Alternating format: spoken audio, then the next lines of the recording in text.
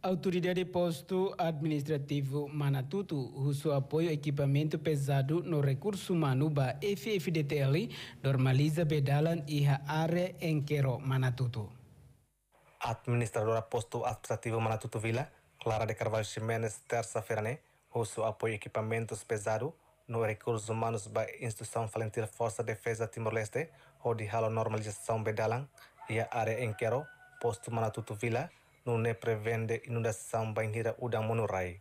Além de né, normalizamos estrada nebe condição at e área refere, at nune facilita movimento transporte. O rim, equipa ne resolver no sentido atuar loros acontecimento seria mas acontece e a campo e volume do serviço não ser a tunência diretor mas tu não tem capacidade nebe e assim também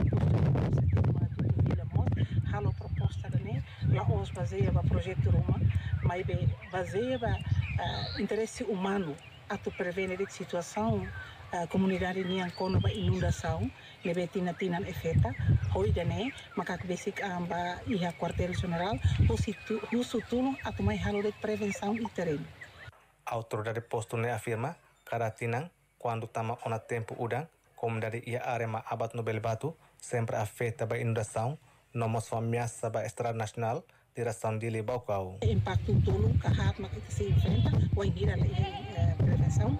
Primeiro, comunidade tina tina tem que inunda muda fraca.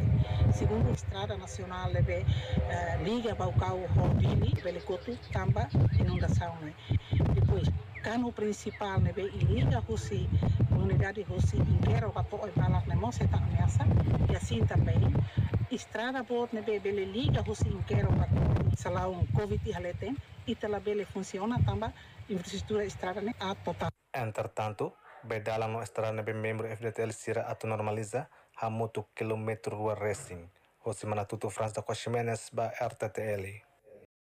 Atu hetang informação factuais não atuais, ta haluha inscreva e canal RTTL, hanehan botão notificação. For comentário, no fahetutang ba mídia social Siraselek.